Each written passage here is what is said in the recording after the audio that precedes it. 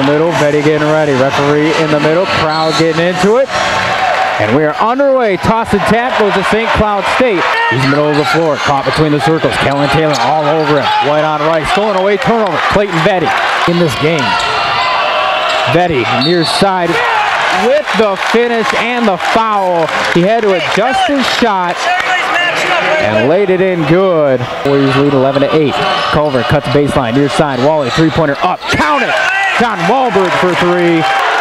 And here come the Warriors on the opposite end. Wally, three-pointer, right wing, bucket! John Wahlberg for three. Timeout taken by head coach Kevin Schlagel. Low lane to Wal- Wahlberg. Gives it off to Humphrey. Shot up, finger roll off the glass and good. What a pretty move by Xavier Humphrey. He's working on Bergstrasser. Bounce. Backdoor cut. Taylor Cameron. Left-handed reverse lay-in good. 24-19. Out in the corner. Thought about going baseline, middle of the lane, left-handed layup, up and good. Xander Culver. Six seconds on the shot clock. Long three-pointer, up and rolled in by Taylor Cameron. 39 all. Hey, oh, Warriors really taking their time, trying to look for the best possible option. Erickson dribble penetrated, hop step in the lane, shot up and good, and the foul. C.J. Erickson going to the free throw line. The Warriors looking to extend it. Clayton Vette spots up left wing three-pointer. Book it. Clayton. Guy who's a pretty good shooter from the outside, only two of eight. Xavier Humphrey for three.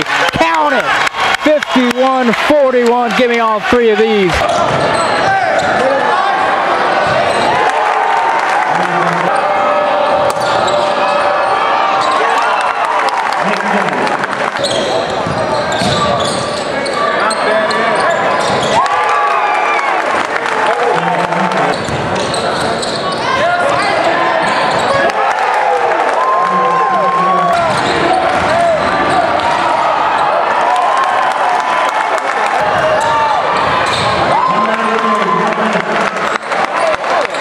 Gets it over to Taylor Cameron. The clock's just going to slowly tick away here in Halenbeck Hall. And the Warriors come in and defeat the number 20 St. Cloud State Huskies 84 to 74 in this Friday night fight.